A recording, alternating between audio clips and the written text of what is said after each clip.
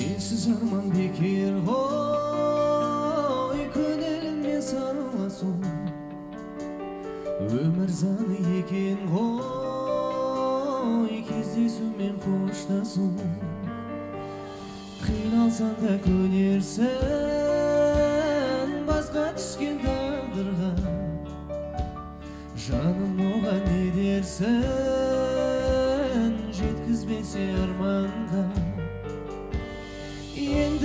сен бір келесің сен ұмытамар емеспін жанарымда қалды келесің сен ұмытамар емеспін аңсап сен де жүрсің бе жанарыңды талдарып атқан сайын әр күнге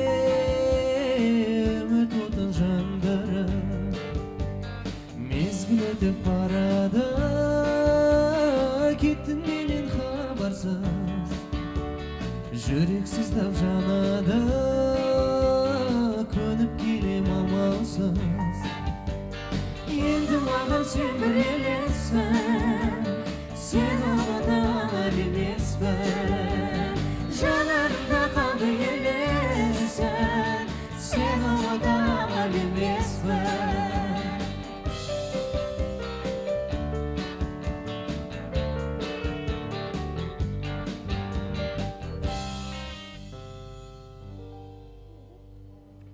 кеш жарық қымбатты көрермен эфирде мың бір түн бағдарламасы және бүгінгі шығарылымда сүйінші жаңалықпен бастаймыз. Ел тарихында еркін күресте алғашқы алтын қоржынымызда. Қазақ балуаны ризабек айтмұхан 20 жасында әлем чемпионы атанды. Қымбатты көрермен дәл қазір ә, сербия астанасы белградта өтіп жатқан әлем чемпионатында 92 келі салмақта ә, бүкіл қарсыластарын жеңіп бізге тарихи жеңіс алып келді. Құтты болсын қазақ елі. Құтты болсын жеңіс. Иә. 20 жаста негізі бекзат саттарханов сиднейде олимпиада шын бағындырған болатын. Сондықтан біздің жігіттер жарап жатыр. Жеңіс құтты болсын. Ал бағдарламамызды біз бастаймыз. Сіздерге қызмет ететін мен әйгерім сейфолла әріптесім ғалымжан кеңшілер және біздің бағдарламаны музыкамен сүйемелдейтін монако бенд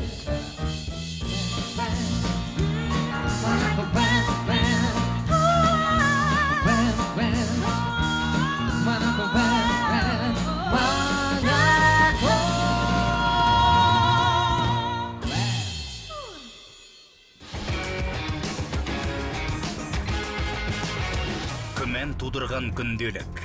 Мәжіліс депутаты балалардың жеке мәліметтері басқа мемлекетке ұрлануы мүмкін дейді. Оқушылар жүйеде жағымсыз жарнама көруге мәжбүр деген депутаттың сынына жоба құрастырушылары не дейді? Бүгін. Нью-йоркты тамсандырған қазақстандық дизайнер. Ақштың сән астанасында қазақтың ұлттық нақыштағы киімдерін әлемге паш еткен медина сақтағанова. Бүгін мың бір түнде.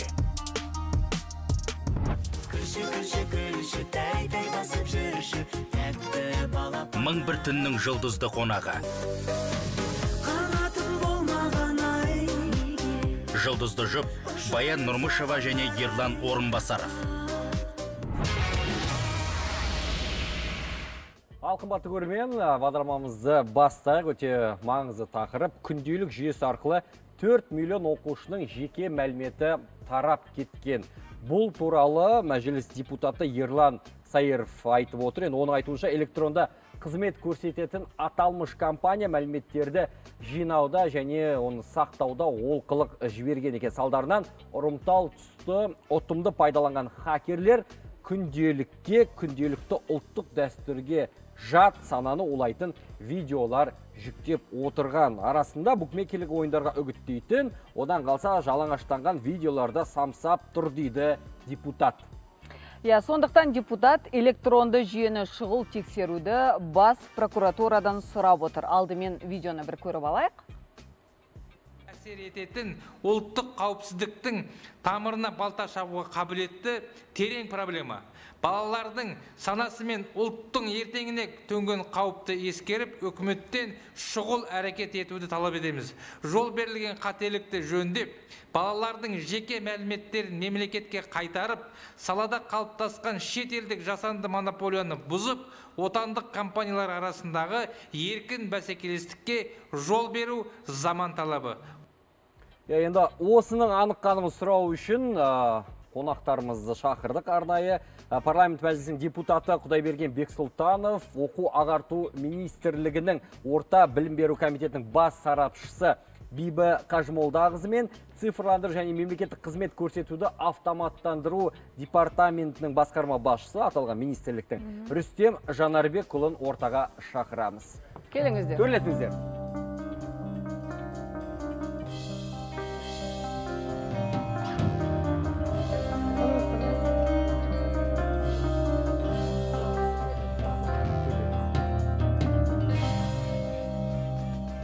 қош келдіңіздер. Енді құзырлы орган ретінде ә, сіздерге алғашқы сауалымызды қойғымыз келіп тұр.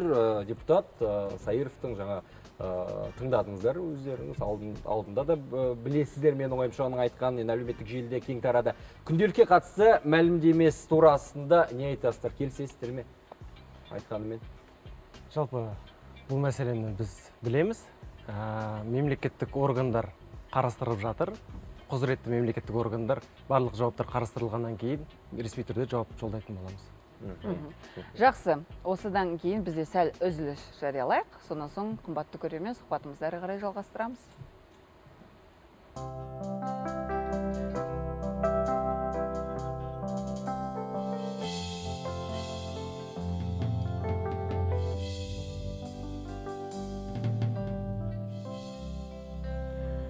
Қымбатты көрермен эфирде мың түн біз күнделік жүйесі туралы әңгімелесіп отырмыз. Сауалдарыңыз болса ал сіздерде сауал бар екеніңізге біз сенімдіміз сондықтан бізге хабарласып қойсаңыздар болады. Енді күнделік жүйесі бұл қазақстандық жүйе ме әлде шетелдік пе? Көршілес елдің.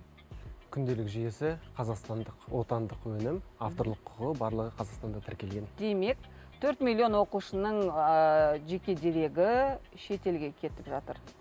Деген ақпарат шындыққа сәйкес келе ме келмей ме? Төрт мен өзім осы министрлікте 2018 жылдан бастап жұмыс істеймін. Ондай мәліметтер бізде болған жоқ мүлдем. Себебі айта кетейін ә, серверлар жаңағы күнделікке бөлінген серверлардың барлығы біздің қазақстанда орналасқан. Және ә, оны ұлттық қауіпсіздік комитеті ә, соның жанындағы мемлекеттік техникалық қызмет әрдайым бақылауда ұстап отырады. Сондықтан ол деректер ешқайда шыққан емес. Демек депутат ерлан сайыровтың айтқан ақпараты шындыққа жанаспай ма? Шындыққа жанаспайды деп айта алмаймын бірақ мен, менің білуімше ондай мәліметтер жоқ. Біздің деректер қазақстанда сақталған. Қазақстанда оны ә, қазақстан республикасы қауіпсіздік комитеті өзінің өзі бақылауда ұстап отырады әрдайым. Түсінікті Ә, құдайберген мырза енді сіздің әріптесіңіз ә, осы мәлімет туралы айтып өтті. Енді тиісті өкілдер басқаша айтып жатыр деген секілді Ә, сіздің пікіріңізді білейік осы турасында. Негізі ерлан бияхметұлы сауал айтты ғой. Бәріміз алаңдадық. Иә. Ә, менің де ойлайтыным сақтықта қорлық жоқ дейді бабаларымыз. Яғни құзырлы орган тексеріп ертең біз мәлімет алғанда оны дәлелдейміз әлде жоққа шығарамыз. Сол кезде бүгінгі күні әрине мен өзім де алаңдап отырмын қалай бұл? Сіздің балаларыңыз оқи ма мектепте? Немереміз бар құдайға шүкір балаларымыз ересек қой бірақ ертең сол қай бала болсын? Қазақтың баласы. Бүгін мектепте оқып жатқан түлектерге осындай қауіп туып тұрса ол туралы мәліметтің бәрі кетіп қалса тіпті ол жалғыз балалар емес ол жердегі ата анасы да иә. ұстаздарымыз да үлкен сондай бір қауіп болады ғой олардың бәрі барлық мәлімет кетіп қалса. Бірақ мына жерде мен айтатыным ана жерде сауалда тағы да айтылды ғой. Жарнама жөнінде бүгін ә, біздің халық банкі әр баланы мотивация жасау үшін ақша Иә. төлейді. Мен соған да қарсымын. Өйткені баланы қазір құмарлыққа итереді. Ол мотивация баланың негізі оқуға деген өзінің ата ананың былай айтқан бір мейірім болу керек. Өз ынтасы болу керек ақшамен иә ынтасы болу керек. Ақшамен оны қосындырып ол қай банк болсын екінші деңгейдегі қай банк болсын олардың мақсаты неде? Пайда табуда соның артында бір үлкен гәп бар. Оны мен өзім алаңдаймын. Осындай жақсы ұсыныстарымыз де бар деп айтады. Бірақ мен сенбеймін. Алаңдап қана қоймай бұл мәселені көтеретін шығарсыз. Көтереміз да. Комитеттің отырысында қараймыз. Керек болса негізі келесі біздің мәжілістің отырысында да қараймыз. Қазір енді күтеміз ғой. Бас прокуратурадан жауап күтеміз құзырлы органдардан жауап күтеміз. Жауап алғаннан кейін әрине расында да ана жерде дәлелденсе жауапқа тартамыз бәрін. Енді ә, сайыров мырза тағы жыл сайын күнделік жүйесіне оқу ағарту министрлігінің есебінен 800 миллион теңге бөлінетінін атап өтті. Бұл ақпарат қаншалықты рас? Ә, министрлік пен күнделіктің арасында жеке жекешелік мемлекеттік әріптестік шарты бар. Ол шарттың негізінде министрліктен күнделікке ақша төленбейді қаражат мүлдем қарастырылмаған. Бұл күнге дейін барлық жұмыстарды күнделік өз қаражат есебінен ғана шығарып отыр қандай өз қаражаты өзінің есебінен. Біз ол жағынан хабарымыз жоқ. түсінікті енді осы ретте күнделік кезет жобасының бас директоры мұхтар ілиясов мырзамен сұхбаттасайық. Скайп арқылы байланысқа шығуға дайын тұр. Мұхтар мырза кеш жарық ербол ә, сайыров депутат ә, сол кісінің мәлімдемесін талқылап жатырмыз күнделікке қатысты. Осы турасында ә, сегіз қанша қанша қанша миллион. сегіз миллион теңге бөлінеді деп 800 отыр. миллион. сегіз жүз миллион теңге бөлінеді деп отыр. Ә, құзырлы органдар ә, ондай ақша берілмейді. Күнделік кезет өз ақшасына жасайды дейді. Осы рас па? Амансыздар ма? Ерлан сайыров депутат мырзаның айтқан сөзі расқа келмейді. Бізге министрлік бірде бір тиын төлеп тұрған жоқ. 2016 жылдан бері біз өзіміз жұмыс істеп келе жатырмыз. Мемлекет қалтасынан бірде бір қаражат бізге бөлінбейді. Біз жекеменшік инвестор ретінде өзіміз осы ба- бағдарламаны технологиялық технология жағынан а, техникалық жағынан а, көмегін беріп ақысыз жұмыс істейміз. Айтыңызшы мынау күнделік кезетте тағы жарнамалар бар түрлі ә, ұятсыз видеолар көрсетіліп жатыр. Ә, құмар ойындарына шақыратын үндейтін видеолар көрсетіліп жатыр деді иә депутат мырза. Бұл жайында не айтасыз? Енді депутат мырза неге өйтіп айтқанын мен білмеймін. Депутат мырзаның өзінен сұрау керек шығар. Мхм. Бірақ жалпы айтатын әңгімем бұл жалған ақпарат. Себебі осы біз бірнеше рет а, бұл мәселені өзімізде көтеріп айтқанбыз жауабымызды бергенбіз. Көпшілігінде бұл а, бұқаралық ақпараттық құралдар берілген фотошоп арқылы жасайды. Немесе барлықтарыңыз білесіздер әр әр сайттың ә, HTML версткасын көрсетуге болады. Мысалы сізде компьютер болса сіз компьютер арқылы браузер арқылы любой сайтты ашасыз. Сонда клавиатура арқылы Ctrl F12 деген батырманы бассаңыз онда сайттың коды көрсетіліп тұрады. Сол кодқа әртүрлі сурет салып немесе мазмұндамасын өзгертуге болады. Сосын оны телефон арқылы түсіреді сосын ойбай мынау күнделіктің ішінде мынандай ә, видео бар осындай мәлімет беріліп тұр дегендей. Бірақ оның барлығы қолмен қол жасалған ақпарат. Мысалы сол жаңағы бетті қайтадан бассаңыз қайтадан оны жүктесеңіз ол өтірік мәлімет өтірік ақпарат толықтай жойылып кетеді. Сондықтан күнделіктің ішінде ондай жарнама ешқашан берілмейді. Жалпы жарнама Берілмейді. бар ма күнделіктің ішінде? А, жарнама негізі бар. Біздің табысымыз біздің табысымыз жарнама арқылы сосын а, міндетсіз қосымшалар арқылы. Міндетсіз қосымшалар деген оны біз өзіміз елге ұсынамыз. Ал қолданушы өзі шешеді. Керек па оған керек емес керек емес. Сүзгіден өткізесіздер ғой, ешкім- о әрине өткіземіз. Фильтр бар бізде контент 6 плюс дегендей. Оны сіздер нақты білесіздер журналист ретінде. Сондықтан мынау бұқаралық ақпараттық құралдарда шығатын кейбір мәліметтер толықтай сайға келмейді. Мұхтар мырза сіздің ә, қазақстандық компаниялардың жетістіктері бәсекелестердің қызғанышын тудырады деп айтуыңызға ә, не түрткі болды? Енді біз 2016 жылдан бері жұмыс істеп келе жатырмыз. Өз қазақ елімізде біз ә, бірінші прецедент жасадық. Қазақстан елінде осындай жүйені толықтай бірде бір тиын жұмсамай өз арқамызда көтеріп жарияладық. Әрине ол ол жағынан ә, кейбір отандық компаниялар ә, арам оймен ойланады. Себебі олар нарықта әр мектепке 250 мыңнан бастап 800 мың теңгеге дейін жыл сайын мектепке өз жүйелерін ұсынады. Ондай керемет бизнесмен болғаннан ә, ол ондай керемет бизнесмен болу үшін көп ақыл мен ми керек емес. Елдің ақшасын сорып немесе мемлекеттік бюджеттік ақшаны сорып бір дүниені келтіруге. Ал мысалы нарықта толықтай ақысыз жұмыс істеп көріңізші. Оған біраз интеллект керек. Сондықтан ол ә, көре кейін сондықтан сөйтіп бізге тиісіп жатыр. Мұхтар мырза айтыңызшы енді бізде тікелей эфир ғой сондықтан ә, нақты нақты ақпарат алғымыз келеді. Енді ә, 4 миллиондай оқушының жеке ә, дерегі шетелге тарап кетті деді иә? Ә, яғни бұл жерде ақпараттық қауіпсіздік қаншалықты сіздерде қамтамасыз етілген? Ол рас па? 4 миллион оқушы. Қорқынышты ақпарат былай төрт және төрт миллион емес мен сізге былай айтайын жүйеде 6 миллион. А, азаматтың мәліметі бар. Ол яғни ол үш жарым миллион оқушы екі жарым миллион ата ана 400 мыңға ә, жақын ә, о- мұғалім ұстаздардың мәліметі бар. Бірақ жаңа ә, министрліктің әріптестеріміз айтып кетті. Барлық серверлар барлық серверлар құралдары толықтай мемлекеттің қолында. Сосын ә, о- осы мынау біздің ә, электрондық үкімет бар емес па электрондық үкімет толықтай мемлекеттің қолында. Тура сондай серверлерде күнделікте орналасқан. Ол сосын біз 90 сайын 90 сайын мен қайталап айтайын 90 сайын бізді құзыретті органдар тексеріп тұрады. Яғни жаңағы государственная техническая служба деген бар. Ұлттық қауіпсіздік комитеті бойынша. Ол сол жақтың мамандары кәсіби мамандары. Әр 90 сайын біздің кодты тексереді. Екіншіден нагрузка жағынан тексереді қауіпсіздік жағынан тексереді.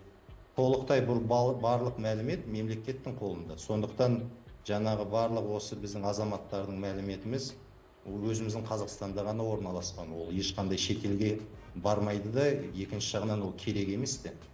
Мен сіздерге бір затты түсіндіріп кетейін. Мысалы к- көпшілік ойлайды ойбай біздің оқушылардың білім үлгерімі үлгерімі шетелге керек дегендей. Ол шетелге ол мүлдем қажет емес. Мысалы сіз ресейге барыңыз немесе қытайға барыңыз немесе ұлттық құрама штаттарына барыңыз. Олар ешкім қарамайды сіз 11 жыл үздік бағамен оқыдыңыз ба оқымадыңыз ба? Нақты экзаменға кел жаңағы айлс егэ немесе басқа емтиханыңды тапсыр өз деңгейіңді дәлелде. Жақсы тапсырсаң сонда саған мүмкін грант береді. Ал иә, оны білеміз. онда онда ақылы оқисың. Сондықтан ә, негізі енді бұл мәселені мен тағы да айтып кетейін. Негізі жаңа депутат мырзамыз да дұрыс айтып жатыр. Ә, әрқашанда бақылау керек. Ә, сақтықта қорлық жоқ деген ол дұрыс айтады бұл кісі. Оны толықтай қолдаймын. Бірақ жалпы айтып кететін мәселе бұл жоба жобаның ішіндегі толықтай барлық мәлімет ақпарат барлығы осы мемлекеттің қолында. Жақсы. Мұхтар мырза бізге уақыт бөліп барлық ақпаратты айтқаныңыз үшін алғысымызды білдіреміз. Қымбатты көрермен бізде сәл ғана үзіліс. Сонан соң қайтадан сұхбатымызды жалғастырамыз.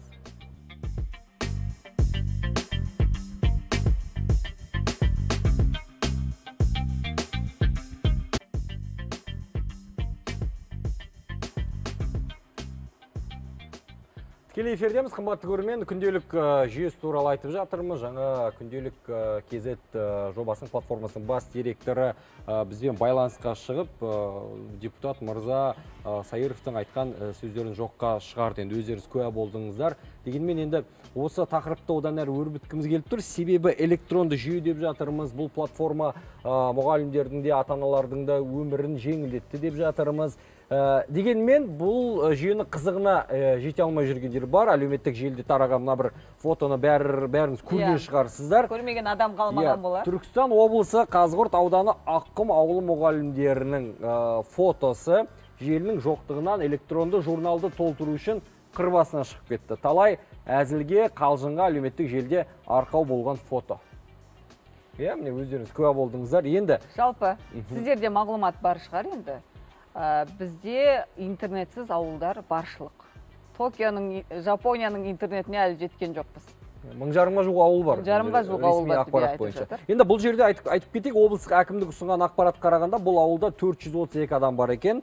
Ауыл тұрғындарына KSL компаниясы ұялы байланыстың Иә. 2G және мобильді интернеттің 3G ә, буыны бойынша қызмет көрсетеді екен. Дегенмен жағдай осындай болып тұр. Енді бұл жерде мынандай ә, сұрақ туындайды. Мұғалімдер ә, күнделік кезет ә, платформасында күнделікті толтыру міндетті ме? Егер онда интернет болмаса дейікші болмаса. Бибіхан бұл жерде ә, бізде ә, интернет жүйе- жүйесі болмаған жағдайда қағаз түрінде жүргізілу, жүргізілу қажеттігі туралы ә, педагогтардың міндетті құжаттар тізбесінде енгізілген.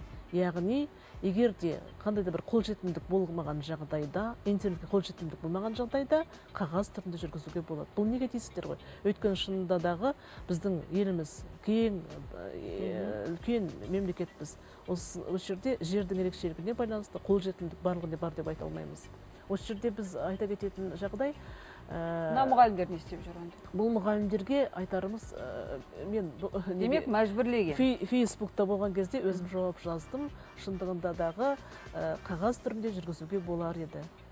Бұл жөнінде бұл бізде ақпарат ә, барлық ауылдағы жаңағы әлеуметтік желісі жоқ интернет жоқ ауылдардағы мұғалімдерге тарады ма жеткізілді ме? Хат әрине осы жөнінде орта білім беру комитеті хат жолдады Қашан? яғни 13 қыркүйек күні Биыл. биылғы жылы хат жолданды яғни қолданыстағы заңнама шеңберінде ә, интернетке қолжетімдік болмаған жағдайда қағаз түрінде құжаттар толтыруға болады міндеттеуге тиіс емессіздер деп. Дегенмен тағы осы жерде айта кетуіміз керек интернетке қолжетімдік болмаған жағдайда жергілікті атқарушы органдар цифрлық дамыту министрлігімен бірлесе отырып осы туындаған проблемаларды шешуге тиіспіз.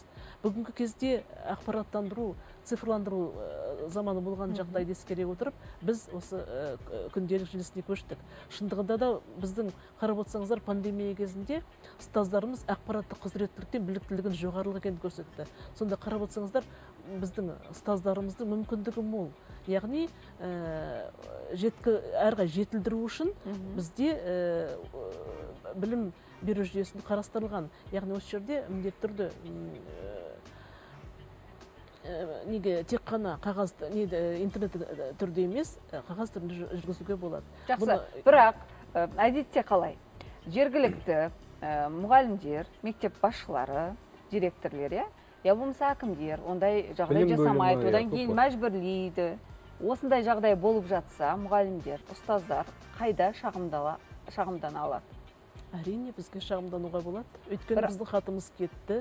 Ә, не себепті болмады екен? Соны біз анықтауымыз қажет. Оның шындығында да қандай себеп болған жағдайда оның шешілетін, шешілетін түйін ә, шешілетін жағдай болмаған жағдайда әрине қағаз түрінде жүргізуге болады. Өйткені ә, ата аналар мен ә, мұғалімнің арасында байланыс міндетті түрде қажет. Бүгінгі ата аналардың өте белсенділігі соны танытады. Яғни әрбір ата ана өзінің ба- балаларының бағасын ашамыз келеді, иә. жүйені. Иә үй тапсырмасын үлгерімін қараймыз үй тапсырмасын бибі ханым жаңа айтып жатсыз ғой сізге шағымдана алады деп. Жалпы нақты осы ә, жағдай бойынша ә, бір қалай айтсақ болады бір ә, зерттеу жұмыстар жүргізіліп жатыр ма? Неліктен мұндай ә, қырға шығып интернетті күнделік кезетті толтыру міндеттеліп тұр бұл жерде. Сұралды ма сіздің тараптарыңызда бұл министрлік тарапынан? жөнінде түркістан білім басқармасымен әңгімелесті олармен Олар не дейді? түсіндірілді. Негізінен ә, бұл жерде же- қолжетімсіз болып тұр ғой. Бірақ олар мұғалімдерді міндеттеген иә? Бұл бі- білім беру ұйымы міндеттеп отыр. Жақсы. Қазір біз ә, осы аққұм ауылының тұрғыны көп балалы ана зейнеткер гүлзи қарабаевамен телефон арқылы байланысқа шығамыз. Себебі скайп Иә. арқылы байланысқа шықпауымыз себебі өздеріңіз біліп тұрсыздар иә. интернет жоқ екен. Ал ә, гүлзи ханым? қайырлы түн. Сәлеметсіз. Теледидардың дауысын өшіре салыңыз өтініш. Қазір кедергі келтіреді бізге байланысқа. Гүлзи ханым естіп тұрсыз ба? Иә. Е, айтыңызшы сіздердің ауылдарыңызда яғни аққұм ауылында шын мәнінде интернет жоқ иә? Иә интернет жоқ бізде иә. Мхм. Байланысқа қалай шығасыздар? Балалар қалай оқып жатыр? Байланысқа шыға алмаймыз байланысқа шықсақ ол шығуымыз керек. Сатқа шығуымыз керек төбеге аха. Ол тастың төбе- тастың төбесіне шығамыз тастың төбесіне тастың төбесіне шығып сол жерден ал қысты күні не істейсіздер? Жазда жарайды күзде жарайды. Ал қысты күні опыға анау қарға қармен қиын ғой енді жаңағы. Төбеге шығу тауға шығу қырға шығу. Шықпаймыз шықпаймыз. Шықпаймыз. Ешқайда ал көрші ауылда ауданда интернет бар ма? Иә бар. Алып төбе деген жерде бар. Мхм. қанша шақырым сіздерден?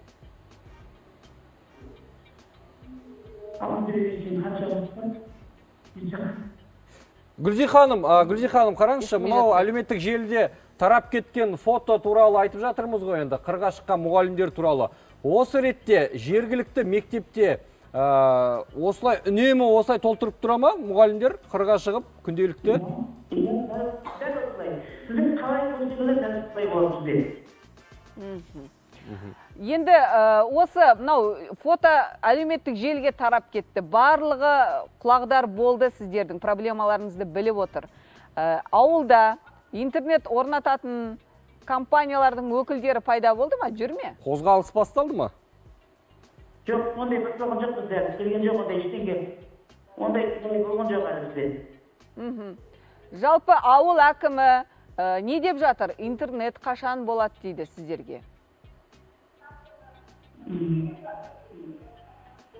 Болады деп болады деп бірақ болмайды дәл қазір ауылымызда су да жоқ біздің. Мына светіміз де светіміз де нашар біздің.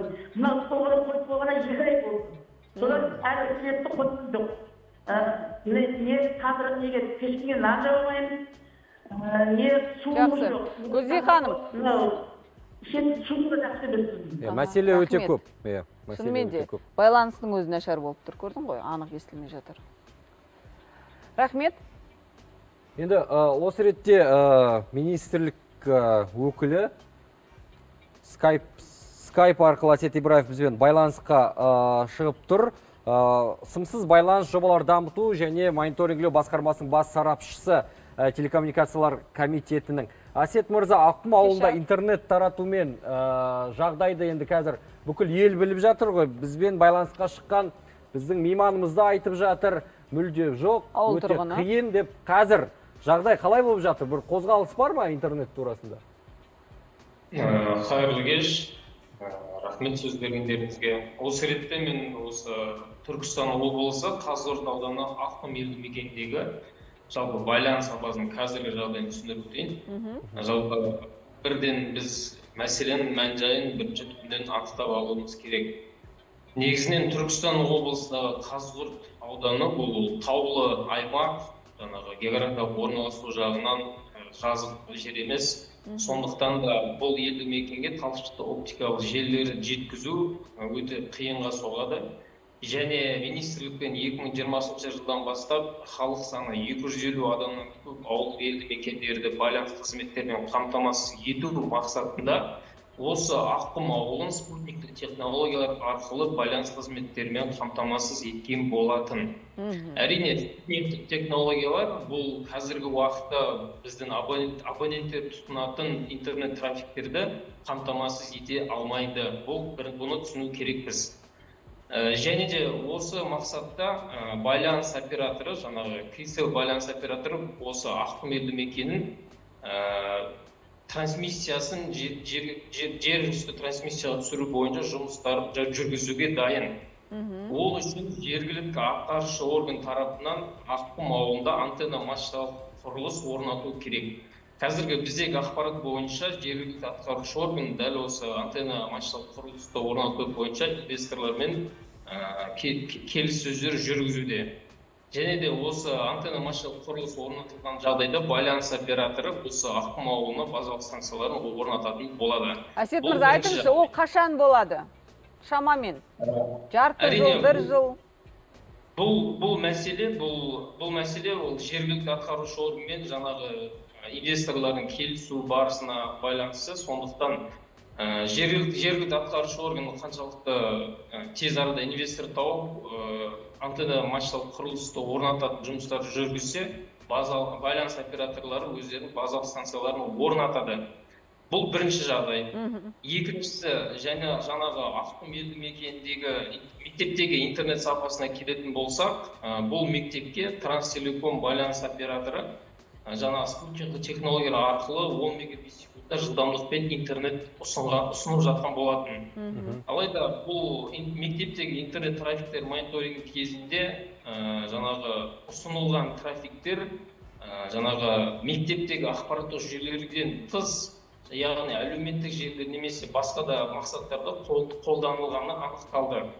Сонымен осы осы мәселені пысықтау барысында біз байланыс операторы яғни транстелекомның мектепке ұсынылатын интернет жылдамдығын 20 мегабит секундқа дейін ә, жақсарту бойынша ә, жұмыстар жасауға дайын екенін қосымша айтып өткім келеді. Демек мақсатсыз пайдаланған иә? Дегенмен енді бұл, бұл ретте әсет мырза ә, ол кісілер де әлеуметтік желінің интернеттің қызығын көргісі келеді ғой? Ол да бар. Әрине бұл бұл бұл бұл бұл жерде айтып өтетін мәселе бұл интернет трафик мектептегі ақпараттық ақпараттық жүйелерге арналған ә, Мгм. трафик болатын. Және ол жеке мақсаттарда қолдану ол қаншалықты Әрине, әрине. енді айтыңызшы қолжетімді интернет ұлттық жобасы бар иә әзірленген? Неше ауылды қамту жоспарланып отыр? Ә, жалпы қазіргі уақытта цифрлық даму министрлігімен қолжетімді интернет жобасы әзірленді және ол дәл қазір бекіту нысанында тұр. Жалпы қолжетімді интернет жобасы бұл елді мекендерді жаңағы айтып өткен оптикалық желілермен қамтамасыз ету және де әр елді мек ауылда ауылдық елді мекендердегі үй шаруашылықтарына мына талшықты оптикалық желілерді жеткізу Wi-Fi қызметтерін көрсету секілді сондай ақ байланыс сапалы сапасын жақсарту яғни 3G технологиясын 4G технологиясын ауыстыру секілді. Сонымен қатар негізгі автожолдарды облыстық республикалық автожолдарды интернетпен қамтамасыз ету секілді үлкен жобаларды қамтиды. Ал енді ең негізгі не- ең негізгі іс шаралардың бірі бұл ауылдарды байланыс инфрақұрылымымен қамтамасыз ету. Және біз өз жобамыз шеңберінде үш мыңнан астам ауылға талшықты оптикалық желілерді жеткіземіз деп жоспарлап отырмыз. Енді Әс- талшықты- әсет мырза расымен де ә, бізден тікелей эфир болып тұр. Ә, дегенмен менің ойымша ә, аққұм секілді ауылдар өзіңіз айттың жаңа, жаңа өте көп. Ә, жергілікті басқару органдары бар инвесторлар бар ә, мемлекет бар. Бірігіп тез арада ә, бүкіл қазақстанда еліміздің түкпір түкпірінде интернет желісі жетеді деген ойдамыз.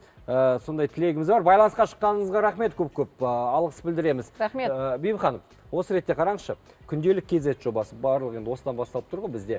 Ә, мұғалімдерге ата аналарға пайдалы ол түсінікті. Ата ана бақылап отырады көріп отырады бізге ыңғайлы. Ал мұғалімдерге ә, қай жағынан пайдалы уақыт үнемдей ме? Мақсат міндетін орындап жатыр ма? Мұғалімдерге де тиімді. Өйткені э, ол арқылы э, оқу э, бізде м, жиынтық бағалау бар тоқсандық бағалау бар. Солардың бәрін нәтижесін шығаруға жеңілірек болады да. Өйткені онда құл неге э, бағалар қойылған қорытынды шығарған кезде бүкіл э, баға- бағалар бойынша жүргізіліп отырады. Біздің кезімізде мына мысалы қағаз түрінде болды ғой. Қағаз болған кезде балалардың ба- бағасы сонда жұмыстарыңыз көбірек пе еді? Қағаз жүзінде мысалы сіз айтып отырсыз иә қазір мен 10 мысалы жиырма жыл мұғалім болдым иә. он үшінші қыркүйекте барлық жаңағы мүмкіндіктері жоқ ә, мұғалімдерге электронды күнделікті қолданбай ақ қағаз жүзінде толтыра берсе болады деп. Ол кісілердің жүктемесі қиындап кетпей ме? Қиындап кетпейді. Өйткені э, бізде қағаз түрінде болсын электрондық нұсқа болсын белгілі нысан бекітілген. Сол нысан бойынша э, қандай э, нелерден э, бағандардан болады?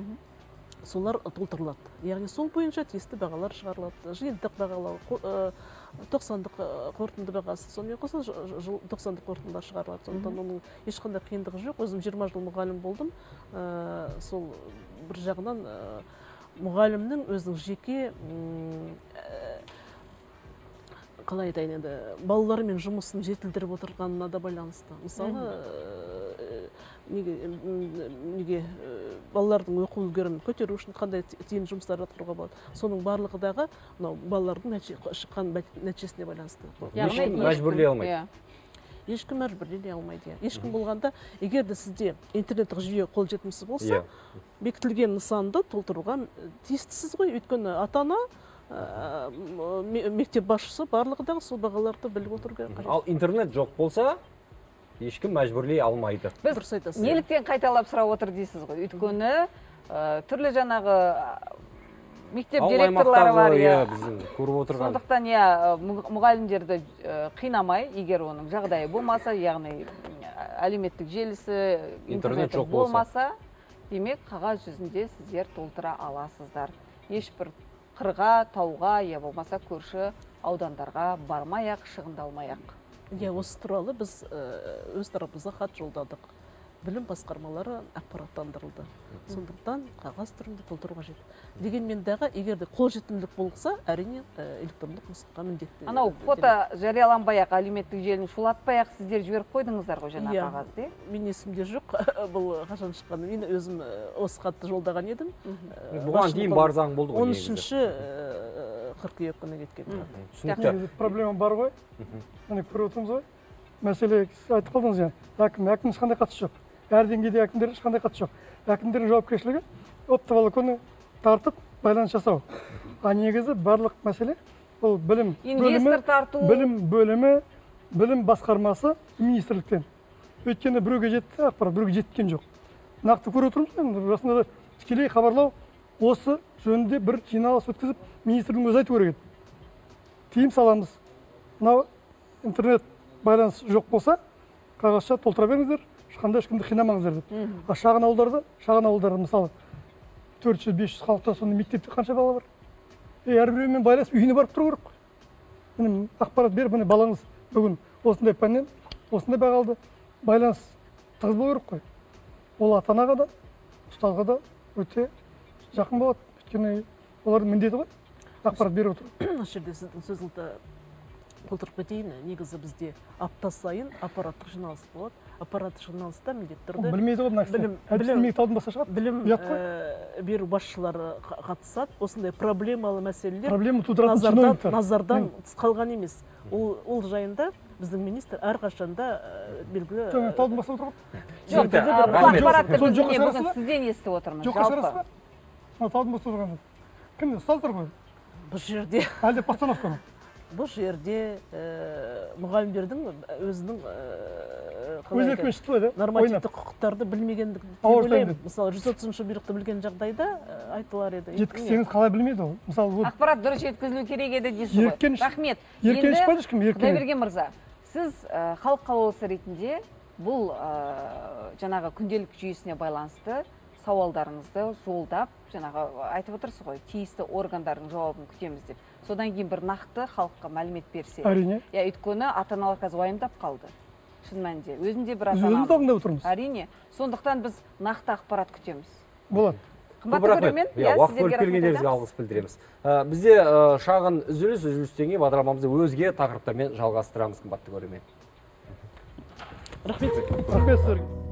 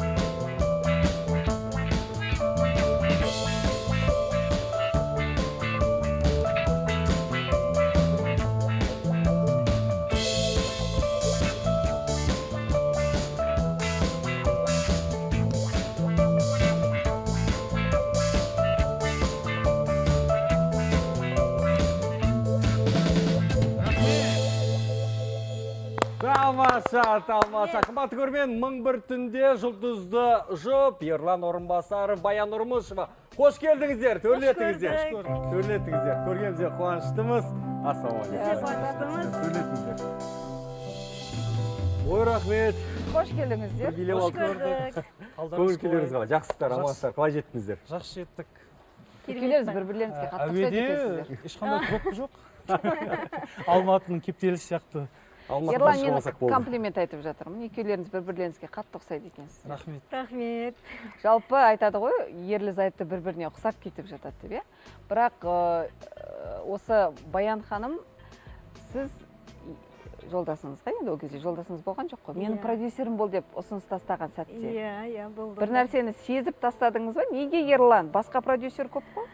Ол былай болды. Негізі біз енді әріптес ретінде таныстық. Ә, сосын білмеймін енді мына сахнаның артында екеуміз тұрып жолыққан кезде сөйлесіп қала беретінбіз. Ә, сол кезде маған ерлан көп ақыл кеңесін айтатын саған мынандай клип түсіру керек мынандай әндер жазып осылай образың жасау керек деп. Былай айтқанда енді жанашырлығын білдіріп жүретін. Сосын гастрольдік сапарларға барсақ басқа қалаларға. Маған айтады баян босқа мына жерде жатпай телеканалдарға радиоларға барып әндерімізді беріп қайтайық деп сол қасына ертіп жүретін. Енді білесіз ғой бізге жанашыр адам қамқор адам бір ыстық болып көрінеді. Бірақ енді ол кезде ә, мүлде мынандай бір сезімге ұласады деген ой болған жоқ. Ә, сосын ол маған сондай кеңестерін айтқаннан кейін мен айттым одан да сен өзің осының бәрін жасасаңшы маған продюсер бол деп өзім қолқа салған себебім сол. Тартыпты. иә. А, басында енді жауапкершілік үлкен ғой. Баянды бүкіл халық біледі қандай әнші екенін жақсы біледі. А, одан кейін а, сәл жүрексіндім. Бірақтан соңғы жолыққанымызда екеуміз соңғы материалдарын көрсетті. Түсірген бейнебаяндарын көрсетті мен қарадым да ренжімеші баян мүлде ұнаған жоқ маған дедім. Ә, өйткені сен жасаған шығынмен мына жасалған дүние екеуі мүлдем сәйкес келмейді. Енді бұл ә, біздің өнер әлемінің ар жағында бір ә, шоу бизнес жатыр ғой. Студия бар дейді клип дейді режиссерлардың жалақысы бар. Ә, студиядағы звукорежиссердің жұмысы бар деген сияқты.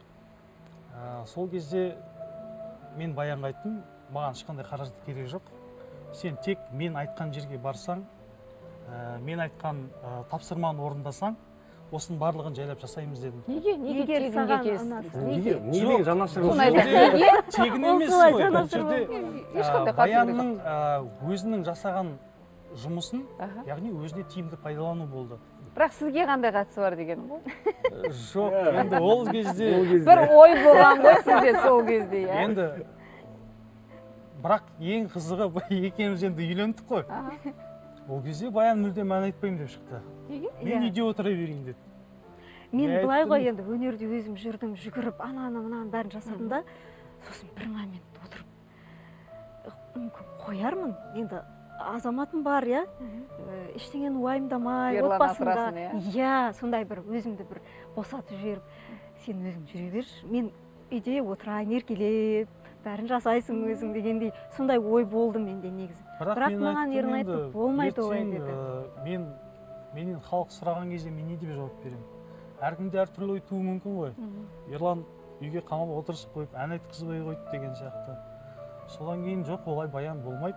Сен шығу керексің деп екеуміз біраз гастроль еттік тіпті бізде мынандай үйленгеннен кейін екеуміз мүлде дуэт айтпайықшы деген ой болған.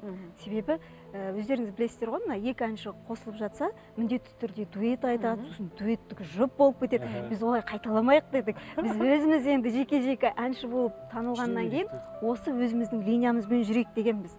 Бірақ та екеуміз мына біраз ауыл аймақтарды аралап жеке концертімізді берген кезде ерлан өзінің блогын айтады мен өзім блогымды айтады. Сосын концерттің соңында бір финалға деп бір ән ғана жаздық. Сөйтіп концертіміз аяқталды десе халық кетпейді. Ал енді екеуің бірге қосылып дуэт айтыңдар деп отырады халық. Сол жерде біз ә, жаңағы жерде сасқанымыздан гитараны алып бір шәмшінің әндерін аяқ астынан Импровизация. импровизациямен солай. Сондай бір әнмен қазір гитараңызды ала келіпсіз. Тікелей эфирде Иә. импровизация мынау ғалымжан мен әйгерім сұрақ қоя береді. Ән айтқызбайды гитара тұр деп айтып жүрмесін сондықтан иә бір әдемі ән. Халық сұрайтын үнемі сіздерден. негізі бар ғой мен бір оқиға есіме түсіп отыр. Осы ә, кезінде мен бір алтыншы жетінші сынып оқып жүрген кезімде алматыға келдім. Ә, бір айналайын деген балалардың бір фестивалі өткен болатын. Сол жерде біз студияға барып запись жазуға қазақфильмге жіберді бәріміз. Сөйтіп студияда адам көп балалар көп. Коридорда отырмын осылай. Гитараны дыңғырлатып шертіп отырмын шертіп сөйтсем марқұм сейдолла бәйтереков ағамыз өтіп бара жатыр екен. Содан мені көріп қалды да тоқтап тұрып қане ойнашы ойнашы деді соны бір шығарма ойнап едім. Менің кабинетіме жүріңдер деді. Енді менің қасымда тағы құрбыларым болды. Сөйтіп кабинетіне барып едім ол кісі айтты. Негізі мен гитаристерді көп көріп жүрмін деді. Бірақ та қазақтың қыздарының ішінде классикалық гитараны жай әндетіп емес ал классикалық шығарма ойнайтын қыздардың ішінде алғаш көруім деді. Сосын маған өзінің ә, жеке альбомын сыйлады. Ол кезде кассета болатын кассетаның заманы. Сосын ә, роза апамның қуанышқызы рымбаеваның бір альбомын сыйлады. Осы роза апаң сияқты үлкен дүлдүл әнші бол бұл кісі деген енді аңыз адам деп маған сондай бір үлкен батасын берген болатын. Сол жерде мен ол кісінің сол берген кассетасын тыңдап маған бір ән қатты ұнаған болатын. Сол әннің бір шумағын қайырайын енді. Паш шіркін. армысың ауылдасың бір туған бауырласың. Ата ана аға жеңге замандас құрдастарым киелі шаңырағым жанұям қонар бағым айдыны көп аңсаған ақ қоса сән арнадым аман бол аман бол аман ба деп сұраймын көктем жаз күз бен қыстан көгімде қағып ұшқан қазақ еліміз аман болсын айтқаныңыз келсін айтқаныңыз келсін жаңа сейдолла бәйтереков роза апайдың дискісін берді ме? Сол кассетасын кассетасын берді сол кезде. Иә. Біздің білуімізше роза рымбаева сіздерді жалпы өте жақын көреді жақсы көреді. Иә. Отау құрғанда шайға шақырған екен. Иә. сұхбат алғыңыз келеді. Осы рас па? Рас негізі роза апам білмеймін енді бір маған айтады екеуміздің бір өмірде бір позициямыз дей ма принциптарымыз ұқсайды дейді ол кісі. Өзіне бір жақын тартатын апайымның бірі. Ә, сосын енді екеуміз үйленгеннен кейін мен күйеу баламен танысқан жоқпын деді. Сосын мен айттым онда мен сізді таныстырайын деп солай ә, үйіне барып шай ішіп ол кісі ерланды танымай ма екен? Жоқ таниды таниды. Бірақ енді былай өзіме жақын тартып дегені ғой енді өзім Әрине. жаңағы. Ә, сосын ә, үйіне шайға шақырып сондай бір ол кісінің ә, батасын алып былай айтқанда шайын дәмін татып қайттық. Жалпы енді ә, біздің ерлан мен баян ютуб арнамызда баян баяндайды деген бір ә, подкаст сияқты бір бағдарлама ашқан болатын. Сол жерде ә, мақсат деген бұл бір аудиторияны жинау бір хайп жасау емес. Бұл мысалы роза апамыз үлкен тарихи тұлға ғой. Сол кісі бір менің биографиямда біздің биографиямызда бір тарихи тұлғамен кәдімгі жай әңгіме айтып шығармашылық жөнінде Әдемі естеліктер әдемі естеліктер иә естеліктер қалсын деп осындай бір сұхбат жасаған болатынбыз. Енді сіз продюсер ретінде негізі біраз шаруа тындырып жатыр екенсіз Иә, иә? иә. Монтаждауды үйреніп алыпты ерлан мырза өзі иә. Иә. осындай видео контенттер дайындайды екен. Видео боялады коррекция Иә. жасай алады. Негізі мені алға сүйреп отыратын ерлан ғой. Ә, себебі ә, негізі сөзіңізді бөле кетейін. Ә, жақсылық үшкемпіров ағамыз ол кісімен қаншама дастархандас болдық үйінде болдық бала шағалармен араластық. Енді әлі, де- әлі де араласамыз ғой. Бірақтан қарап отырсам ә, сол кісімен ешқандай бір фото бір фотомыз ғана бар. Бірақ ешқандай видео сондай сұхбат болмапты да естелік ретінде қарайтын. Сосын бір күні баянға айттым баян дедім мен роза апайды жақсы білемін дедім. Ол кез келген әншіге ә, зейін қойып қарап не қыла бермейді дедім да көңіл аудара бермейді. Бірақ саған деген құрметі өте ерекше. Ә, сол кісі енді былай айтқанда ә, тарихи тұлға енді аңыз адам ғой Иә, бір естелік ретінде сол кісімен бір сұхбаттасып сондай бір нәрсе жасайықшы деген сондай бір идея болған енді ол қашан жүзеге асады? Ол сұхбат бар ютуб арнамызда тұр баян қойдыңыз, ерлан мен баян ютуб арнасында бар иә. Керемет. Мен енді ол жерде журналист емеспін әрине сіздер сияқты бір журналистік менде кем емес болғаннан кейін менде кемшілік көп әрине. Бірақ жерде енді мәселе журналист мәселе әңгіме журна- дүкен иә, құру ғой жай әңгіме дүкен құру иә сондай. Екі ә, әншінің және әпкелі сіңілідей болған және Иә, иә. позициямыз көзқарасымыз кейбір ә, тіпті болмыстарыңызда да бір ұқсастық бар шығар егер.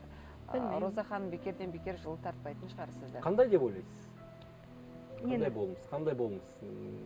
Қандай ұқсастық бар қандай ұқсастық бар сіздерде? Ә, мен ойлаймын ол кісі негізі тіке адам сосын жасандылықты ұнатпайтын адам. Сіз де сондайсыз ба? Мен фальш фальш дейді ғой енді өтірік былай ә, фальш ұнамайды. қарым қатынас деген ұнамайтын сахнада көп қой ондай сахна сыртында көп. Сол қа- қасиет ұнамағандықтан мүмкін ұқсастығымыз сол шығар деп ойлаймын бәлкім бар ма бар ұнай ма ұнайды ұнамай ма ұнамайды енді. Қалай былай мынандай не жоқ кіріп кету бәрінің арасына деген сияқты. Жақсы. Иә. Иә абайлап жүріп анық басам дейсіз ғой. Иә енді өзің шығармашылық жолыңды білесің солай жүресің дұрыс. екі мың жиырма бірінші жылы жұртқа не болған деген Иә. әндеріңіз шықты. Не айтқыларыңыз келді? Не болыпты не болыпты жұртқа? Мен мен жазған ән ол. Әні де сөзінде. Жаңағындай жасандылықты көп көрдік. Бізде қалай былай ғой. бір әнің хит болған кезінде мысалы үшін кезінде менде жалғыз аққу деген ән хит болды да. Айналамда достар өте көп болып жинала қалды. Ә, ол әннің дәуірі өтті бірақтан мен ол кезде аса аңғарған, жоқпын. Кейін айналайын қыздар ай деген бағана шырқаған ән шықты. Ол кезде де сәл бүйтіп байқамадым. Кейін баян екеуміз қосылған кезінде жоғалған достардан одан бетер көп достар жиналды да. Кейін енді әр нәрсенің өзінің бір қызығы кетеді ғой. Сондай кезде көп адамды таппай қаласың. Хит жазбаған кезде иә одан кейін ол бір себеп сондай оймен жүрген кезінде ә, бір жағдайлар болып жатты ғой. Ә, қыз қалай айтсам бір әйелдің образымен бір жігіт жүрді дипломын алып бір оқу орнында жүр ма бір оқуға түсейін деп жатырмын деп. Ә, одан бөлек шаш бояйтындар ә, тик шықты. сондай бір көп нәрселер шығып кеткеннен кейін мен баянға айттым жұртқа не болған дедім. Қайда баратыр барлығы деп.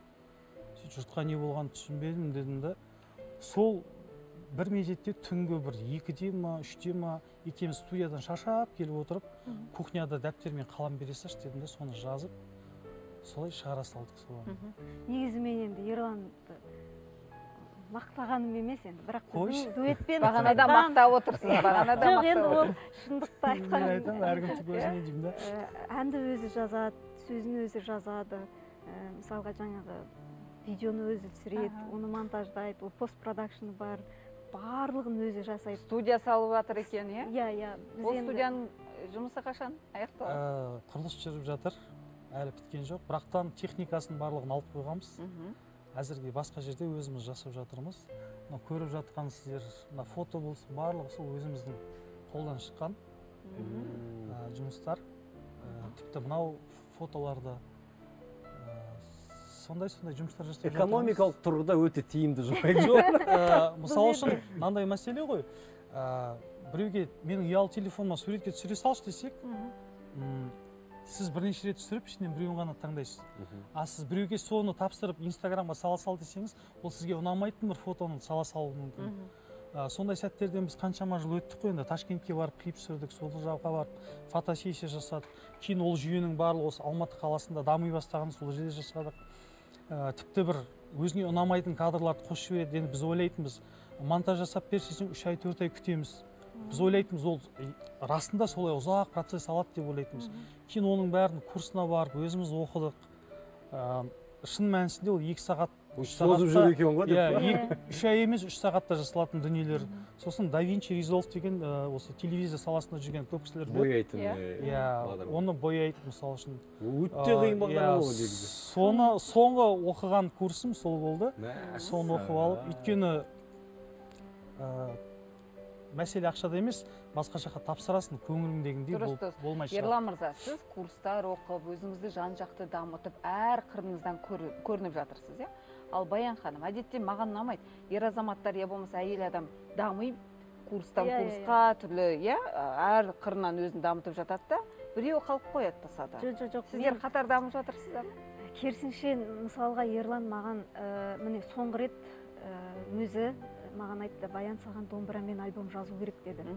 Ә, біріншіден бұл коммерциялық проект емес ешкім сені домбырамен қазір шақырмайды ешқай жерге. Қызық та емес болуы мүмкін. Бірақ бұл біздің ұлтымыз үшін маңызды дүние біріншіден. Екіншіден мен ол ә, дәстүрлі әнді ә, қайрат аға байбосыновтан оқыдым сол кісінің төл шәкіртімін сондықтан ол дәстүрлі әншісіз. мен дәстүрлі әншімін. Консерваторияда төрт жыл білім алдым қайрат ағаның қолынан. Ерлан айтты сен сол кісінің қолынан не үшін оқыдың бекер оқыдың ба? Ол кісі не үшін саған үйретті? Сен ары қарай өзіңнен кейінгі ұрпаққа соны бір насихаттап қалдырып кетуің үшін үйретті. Сол үшін сен бұл домбырамен альбом жазу керексің деп маған қолқа салып міне домбырамен альбомды өзі жазып өзі ә, сведениесін өзі жасап шығарды. Оны сосын инстаграмға салып суретін түсіріп видеосын түсіріп өзі насихаттады.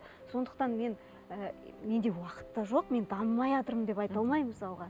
Уақыт бермейді маған. тапсырма береді дамы дамы мен деп. бірден Иә, жүзеге асырамын дейсіз ғой. ол- ол мені қинамайды. қанша ән бар? Он ән бар. Он ән бар. Шықты жарыққа. Шықты. Ә, біздің ерлан мен баян ютуб арнамызда бар.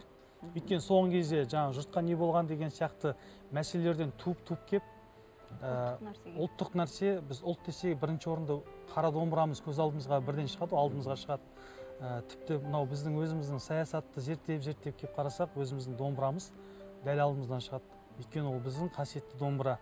Сондықтан баянға айттым енді біздің осы өзіміздің ұлтымызға деген қалай айтсам бір әйтеуір бір шетінен болсын бір үлкен бір теңізге бір ә, Тамшыдай. болсын жасағанымыз болсын осыны жасайықшы деп жүріп керемет. Ұлт алдындағы парыз ғой баян мырза иә ой баян ханым көп дүниені жасап жатырсыз иә? Ерланның айтуы бойынша продюсердің айтуы Иә. бойынша. Сіздің шығармашылығыңызда қандай жаңалық бар? Не істеп жатырсыз? Ә, менің шығармашылығымда біз кезінде өзім айтқан әндердің бәрін дуэт қылып жазып алдық.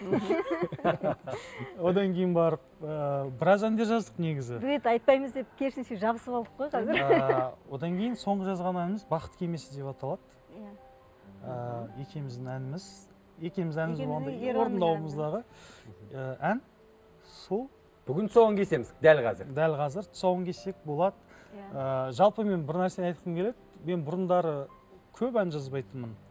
Бірақ баян былай айтқанда маған ә, былай муза болды. Шабыт берді. шабыт берді. Ә, біздің біргеміз деген әніміз бар. Ол Иә, ә, оның ол әннің өзінің бір тарихы бар. Баян азанда дүкенге кеттім деп кетіп қалады. Нанға кеттім деймін ғой жаңадан екеуміз үйленгеніміз нанға кеттім дейді. Сосын телефон шығып жатамын да аудиозаписпен ватсаппен айтайын дедім да сен ұзап кеттің ғой қайда жүрсің депші. Содан өзіме бірден ой келді. Бұрын мен баянсыз қалай жүргенмін? Жүрдім ғой баянсыз деп. Сөйттім да бірден сол жерден ән шығып кетті да сен менсіз мен сенсіз қалай жүргенбіз? Махаббат барына біздер сенгенбіз. Тәңірім біздерді арай күйгенбіз мәңгі біргеміз жаным дедім да аудиозаписті жібере салдым баянға. Баян бірден маған звондап мынау күшті ән ғой мынау күшті ән ғой куплеті қандай куплеті қандай наныңды алда тез келе қойшы дедім нанмен шығады қазір иә куплетін айтып беремін деп. Содан бастап енді білмеймін біраз әндер жүрегім деген ән шыққан оның да мысалға міне мына ә, бейнебаян болып жатқан. Иә иә осы жүрегім деген ән бұл ә, біз екеуміз сол басында жүріп жүрген кезде иә енді ешкім білмейді ғой мен өзім гастрольдік сапармен ешкімге айтпай қанша жыл жүрдіңіз иә? Жоқ ұзақ жүрген жоқпыз біз иә. Екі, жыл ма жоқ екі жыл емес ғой есімде жоқ ол маңызды емес бұл- қиын Ә, баян өзі бөлек әнші болып кетіп қалып мен бөлек жүремін. Бірақ күнде екеуміз байланыстамыз. Ә, сөйтіп мен жаңағы өлеңдетіп жазамын ғой. Сен баян маған айтады сенің қасыңда қандай ақын отыр дейді да. Мен айтамын сенің қасыңда күнде бір ақын жүре ма? Не деймін шумақтатып маған неше түрлі өлеңдер жазып жүретін ғой. Керемет мен керемет. сенбейтінмін басында. Тамаша. Енді әрине өте қызық сұхбат болып жатыр. Сіздерді мүлдем басқа иә иә. ашып мен негізі иә бағана ғалымжанға айтқам иә.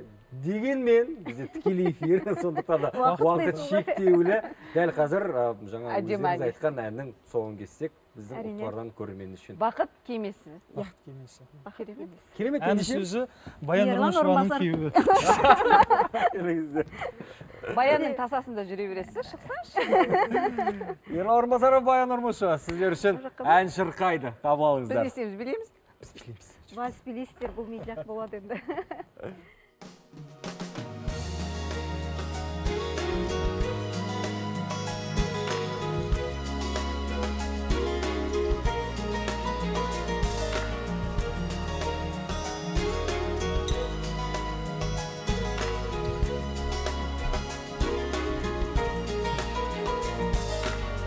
бізді көктем махаббатым бәрінен көркем сағынғансың білем сенсіз қалай жүрген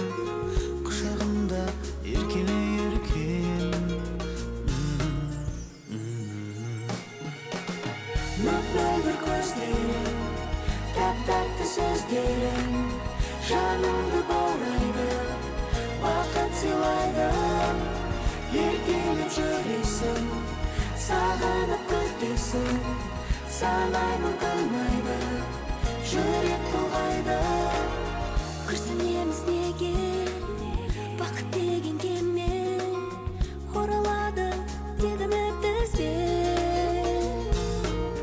қол ұстасып бірге жүрсем болды күнде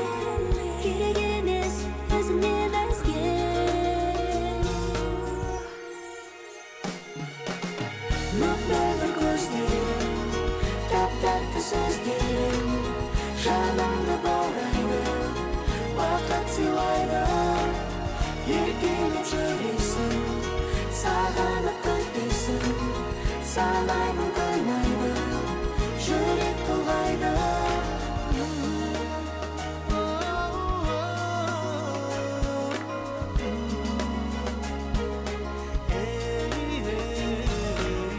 бізді күткен көктем әп-әдемі неткен махаббатым бәрінен көркем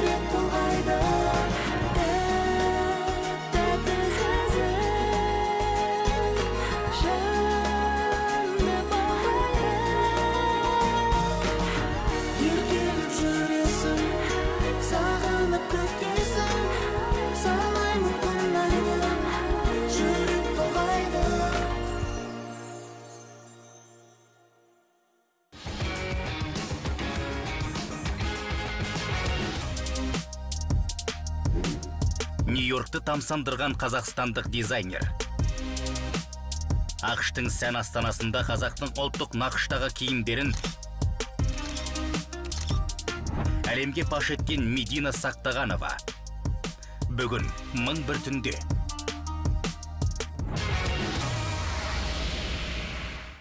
иә дәл осы біздің мақтанышымыз мединамен сұхбаттасқалы отырмыз. Иә қазір бізбен байланысқа қосылады. Ақтауда қазір. Медина кеш жарық қалайсыз? Медина енді нью йоркте әлемге қазақтың әдемі киімдерін паш еттіңіз. Осы жайында айтыңызшы шақырту кімнен болды? Жалпы Қанша дайындалдыңыз? Иә өзіміз туралы қысқаша айту айта кету керек пе қазір? Аха. Айта қойыңыз. Иә егер де бізді танымайтын көрермендер қарап отқан болса қазақстан республикасының маңғыстау өңірінде ә, біздер ұлттық нақышты ә, дә- дәріптейтін сән үйіміз. Қазіргі таңда біздің брендке медина сақтағанова брендіне 8 жыл болды. Осы жылға дейін біз ә, заманауи ә, стильмен біздің ескі қазақ стилін ұйқастырып өте көркем әдемі қазақ киімдерін шығарудамыз. Ә, жалпы бізге ә, нью йорктан ә, шақыру келген кезде анель нұрашқызы ә, нұрашева деген ә, ханым бізге ұсынған болатын. Бізді себебі қазақтың ұлттық киімдерін көп дәріптейтін көп туындылар шығаратын бұл маңғыстау өңірі. Иә, и сол маңғыстау өңірінен ә, бізді іріктеп таңдап алды. Біз оған өте өте ризамыз. Алғысымыз шексіз. Ә, біз үшін нью йорк фэшн уикке қатысу бұл үлкен мәртебе. Әрине Қалай ал- қабылдады? иә реакциясы қандай болды көрерменнің? Керемет. Біз негізінде ойлағанбыз бас, басқа ұлт ә, өкілдері ондай реакция көрсетпейтін шығар. Біздің қазақтар бірақ өте көп болды. Қолдауға келген қазақстаннан ұшып келген ә, жаңағы инфлюенсер ә, кісілер. Ә, бірақ та ә, ол кісілердің енді таңғалғанына біз үйрендік қой. Бұл қазақ болғандықтан. Иә. шетел азаматтарының эмоциясы ә, видеода сақталып қалды бізде. Біз оны кейін көрдік. Себебі мен ә, сценаның ар жағында болғандықтан мен оны көрген жоқпын ғой.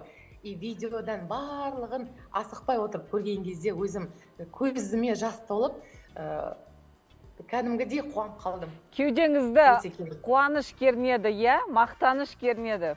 Мақтаныш иә. Біз де мақтандық медина. Сіздердің осы видеоларыңызды көрген кезде шынымен де осындай талантты дарынды дизайнерлер әлемді мойындататын дизайнерлер бізде де бар деп біз мақтанып бүгін міне сізді сұхбатқа қосып отырмыз. Бірақ тікелей эфир болғаннан кейін уақытымыз шектеулі болып қалды. Сондықтан алдағы уақытта алдағы күндері сізді біздің осы көк диванда яғни студиямызда күтеміз. Жарай ма? Бұйырса рахмет сізге. Мен де қуана қуана келемін иншалла. Рахмет. шығармашылық табыс тілейміз енді. Шығармашыл жандарсыздар ғой ал э, расымен де қымбатты көрермен осындай э, мақтанатын э, дүниелеріміз көп болғай. Біз ертеңге дейін қоштасамыз. Сіздермен аман болыңыздар. Сау болыңыздар.